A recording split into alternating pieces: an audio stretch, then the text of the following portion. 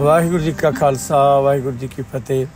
ਗੁਰੂ ਪਿਆਰਿਓ ਜੀ, ਪਿਛਲੇ ਸਾਲ ਅਸੀਂ ਇੱਥੇ ਪਿੰਡ ਦੌਲਤਪੁਰ ਵਿੱਚ 14 ਕਨਾਲਾਂ ਦੇ ਵਿੱਚ ਇੱਕ ਬਾਗ ਲਗਵਾਇਆ ਸੀਗਾ। ਸਰਦਾਰ ਓਂਕਾਰ ਸਿੰਘ ਜੀ ਬੜੇ ਵੱਡੇ ਕਾਰੋਬਾਰੀ ਹੈ ਅਮਰੀਕਾ 'ਚ ਰਹਿੰਦੇ। ਉਹਨਾਂ ਦੀ ਜ਼ਮੀਨ ਹੈ ਉਹਨਾਂ ਨੇ ਇਹ ਜ਼ਮੀਨ ਜਿਹੜੀ ਸੀ ਬਾਗ ਵਾਸਤੇ ਦਿੱਤੀ ਸੀਗੀ। ਬਾਬਾ ਸੇਵਾ ਸਿੰਘ ਜੀ ਖਡੂਰ ਸਾਹਿਬ ਵਾਲਿਆਂ ਨੇ ਉਹ ਪੌਦੇ ਲਗਾਏ ਸੀਗੇ, ਸਾਰੇ ਉਹਨਾਂ ਨੇ ਸੇਵਾ ਕੀਤੀ ਸੀ। ਤੋ ਅਸੀਂ ਦੇਖਣ ਵਾਸਤੇ ਆਏ ਹਾਂ ਬਾਗ। ਪਿਛਲੇ ਸਾਲ ਲਗਾਇਆ ਸੀਗਾ ਤੇ ਹੁਣ ਇਹ ਕਾਫੀ ਜੜ ਫੜ ਗਏ ਸਾਰੇ ਪੌਦੇ। ਇਸ ਵਾਰੀ ਉਮੀਦ ਕਰਦੇ ਹਾਂ ਕਿ ਇਹ ਕੋਈ ਵੀ ਪੌਦਾ ਐਸਾ ਨਹੀਂ ਹੈ ਜਿਹਨੂੰ ਦੇਖਿਆ ਜਾਵੇ, ਕੋਈ ਜਾਂ ਕਮਲਾ ਗਿਆ ਜਾਂ ਸੜ ਰਿਹਾ ਹੈ। ਤੇ ਇਹ ਅਗਲੇ ਸਾਲ ਕਾਫੀ ਵੱਡਾ ਬਾਗ ਬਣ ਜਾਏਗਾ। ਇਸ ਵਿੱਚ ਕਰੀਬਨ 53 ਤਰ੍ਹਾਂ ਦੇ ਪੌਦੇ ਲੱਗੇ ਹੋਏ ਆ। ਫਲਦਾਰ ਵੀ ਹੈ, ਸ਼ਾਨਦਾਰ ਵੀ ਹੈ।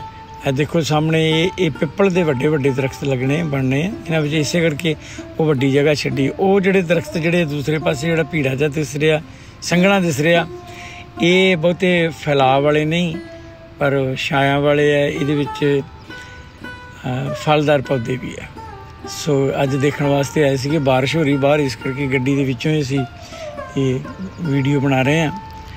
ਤੇ ਮੈਂ ਆਪ ਨੂੰ ਜਿੰਨੇ ਵੀ ਮੇਰੇ ਭੈਣ ਭਰਾ, ਬੱਚੇ, ਨੌਜਵਾਨ ਬਜ਼ੁਰਗ ਦੇਖ ਰਹੇ ਮੇਰੀ ਇਸ ਵੀਡੀਓ ਨੂੰ, ਮੈਂ ਉਹਨਾਂ ਨੂੰ ਬੇਨਤੀ ਕਰਾਂਗਾ ਕਿ ਇਸ ਵੀਡੀਓ ਤੋਂ ਆਪਾਂ ਪ੍ਰੇਰਣਾ ਲੈਣੀ ਹੈ। ਪੰਜਾਬ ਦੇ ਵਿੱਚ ਪੰਜਾਬ ਦੀ ਧਰਤੀ ਹੈ, ਜ਼ਿਲ੍ਹਾ ਜਲੰਧਰ ਹੈ ਤੇ ਇੱਥੇ ਆਪਾਂ ਪੂਰੇ ਪੰਜਾਬ ਦੇ ਵਿੱਚ ਇਸ ਤਰ੍ਹਾਂ ਦੇ ਬਾਗ ਲਗਾਈਏ ਜਿਨ੍ਹਾਂ ਜਿਨ੍ਹਾਂ ਕੋਲ ਵੀ ਜ਼ਮੀਨ ਹੈ। ਐਸੇ ਬਾਗ ਲਗਾਉਣ ਵਾਸਤੇ ਖੁੱਲ੍ਹ ਦਿਲੀ ਦੇ ਨਾਲ ਬਾਗ ਲਗਾਓ ਤਾਂ ਕਿ ਇਹ ਸਾਡਾ ਰੰਗਲਾ ਪੰਜਾਬ ਸੱਚੀ ਮੁੱਚੀ ਰੰਗਲਾ ਹੋ ਜਾਵੇ। ਗੱਲੀ ਬਾਤੀ ਰੰਗਲਾ ਨਹੀਂ, ਸੱਚੀ ਮੁੱਚੀ ਰੰਗਲਾ ਹੋ ਜਾਵੇ ਇਹ ਹਰਿਆ ਭਰਿਆ ਹੋ ਜਾਵੇ। ਇੱਥੇ ਸਾਨੂੰ ਜਿਹੜੇ ਆਉਣ ਵਾਲੇ ਸਮੇਂ ਦੇ ਵਿੱਚ ਮੁਸ਼ਕਲਾਂ ਆਉਣੀਆਂ, ਉਹਨਾਂ ਤੋਂ ਨਿਜਾਤ ਮਿਲ ਸਕੇ। ਸੋ ਇਹ ਬਾਗ ਲਗਾਇਆ ਜੀ, ਤੁਹਾਨੂੰ ਦਿਖਾ ਰਹੇ ਹਾਂ ਔਰ ਉਮੀਦ ਕਰਦੇ ਹਾਂ ਅਗਲੇ ਸਾਲ ਇਹ ਦੁੱਗਣਾ ਹੋ ਜਾਏਗਾ। ਫਿਰ ਇੱਕ ਨਵੀਂ ਵੀਡੀਓ ਬਣਾ ਕੇ ਤੁਹਾਨੂੰ ਦਿਖਾਵਾਂਗੇ।